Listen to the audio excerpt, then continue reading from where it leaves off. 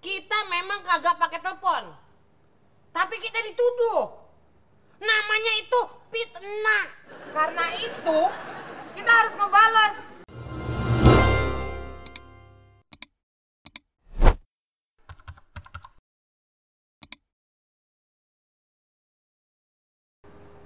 Saya ngerti.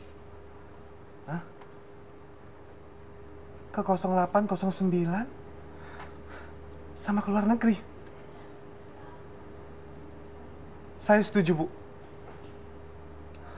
Keterlaluan. Nanti saya cari siapa orangnya. Nah, iya, Bu. Selamat pagi.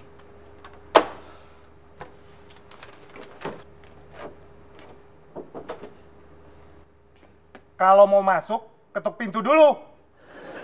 Maaf pak, Mau ke mana kamu? saya keluar dulu. Jadi bisa ketuk pintu dulu sebelum masuk.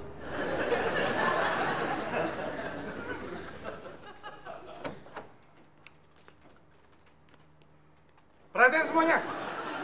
Gusti, Hendra, Airin, Bani, Nanda, Sasya.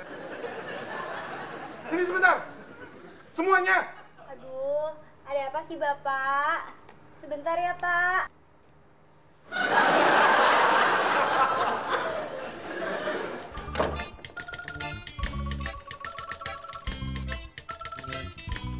Tadi saya ditelepon sama Bu Ani.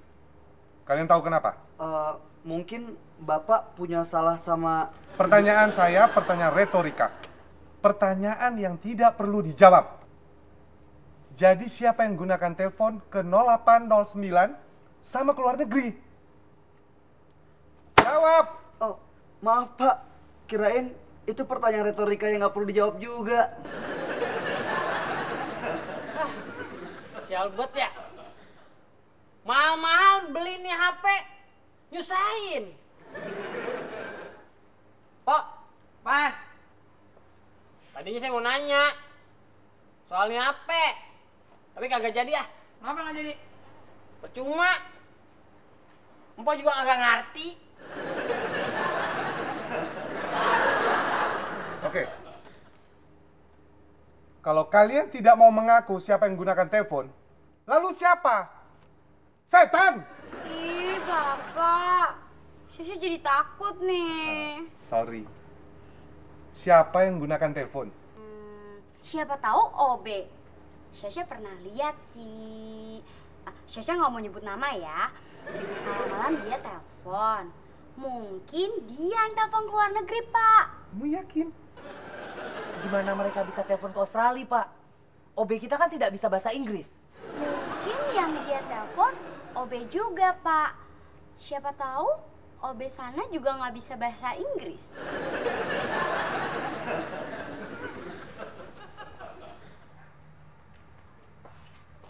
Omel. Mas saya mana? Nih. Oh, ditanyain bener-bener ya jawabannya kayak gitu. Ah, tanya bener-bener jawabannya gitu. Wah, dua.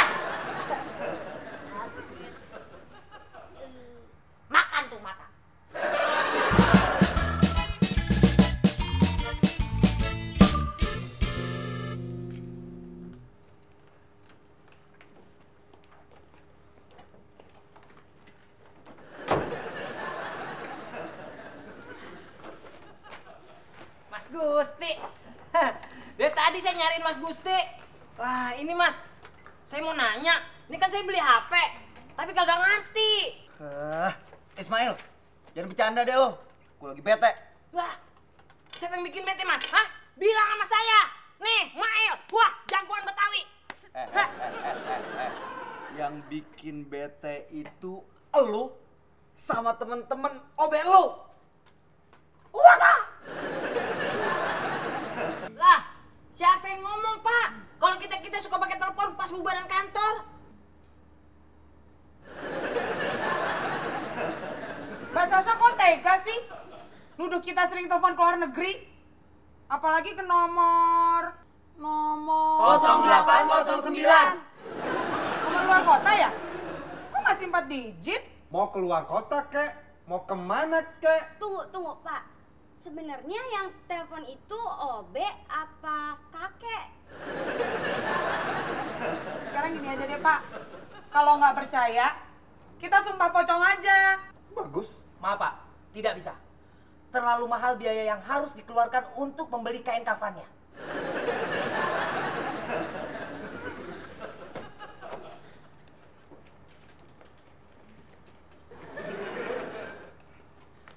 Gue masih penasaran deh. Siapa sih yang suka pakai telepon? Hah? Itu kan ditanyain tadi sama petaka. Iya, gue tahu maksud gue tuh. Udah, eh, ngobrolnya di pantry aja. Saya mau ke belakang nih.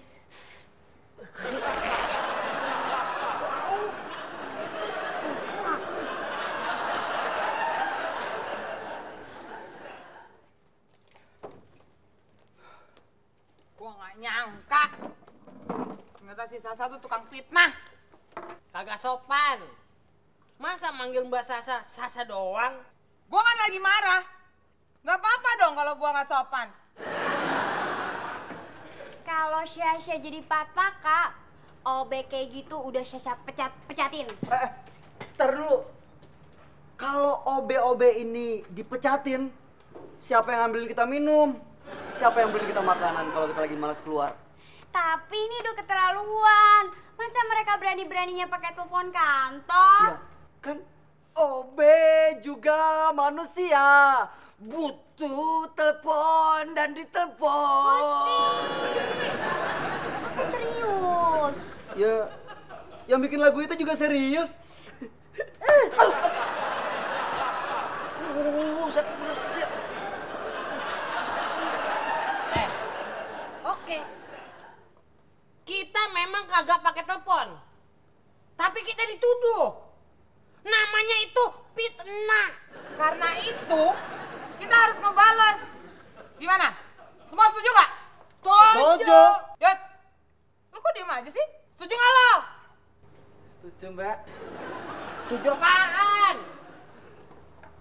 Saja? Oke.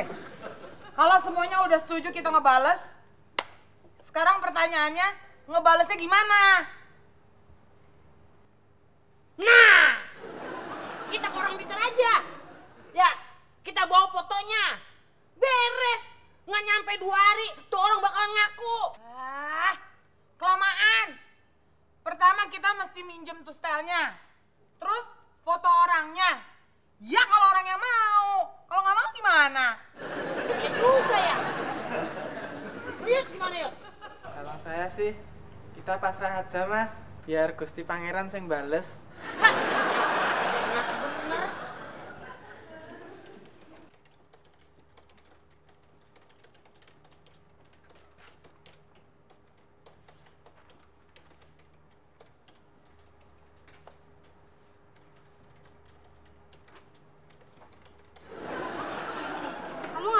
Ngeliatin aku kayak gitu?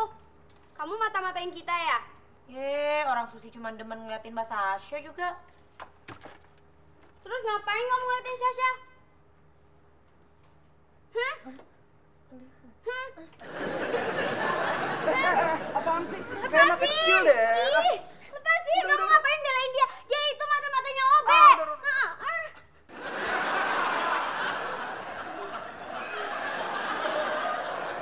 Oke. Jadi semuanya udah ngerti ya? Apa lo? Saya belum ngerti, Mbak. Ah, nggak usah. Emang susah ngejelasin ke lo.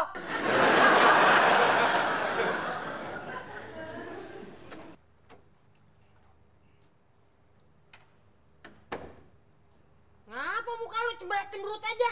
Hah? Udah lama kagak disosor sama Sayuti. Lagi sebel. Tadi di ruangan Susi disangkain mata-mata sama Mbak Sasha.